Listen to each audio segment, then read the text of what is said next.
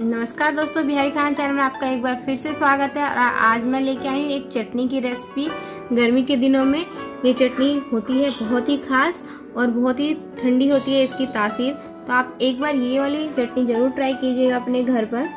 तो यहाँ पे मैंने दो प्याज ले लिया है, साथ ही एक कटोरी पुदीना पत्ता ले ले। नमक स्वाद अनुसार मैंने यहाँ पे हाफ़ टेबल स्पून लिया है। स्पाइस यानी मिर्ची आप अपने अकॉर्डिंग कम ज़्यादा कर सकते हैं। मैंने यहाँ पे एक हरी मिर्ची ली है। साथ ही दो टुकड़ा आम का ले लिया है और छह से सात कली लहसुन ले ले।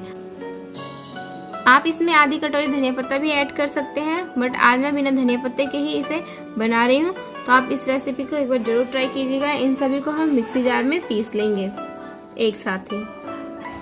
तो फ्रेंड्स गर्मी की स्पेशल पुदीने की चटनी बन करके तैयार है।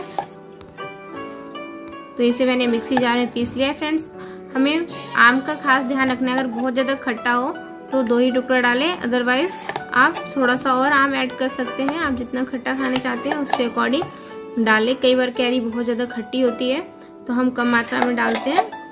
नहीं तो थोड़ा सा और आप डाल सकते हैं। और ये समर की स्पेशल चटनी बन करके तैयार है।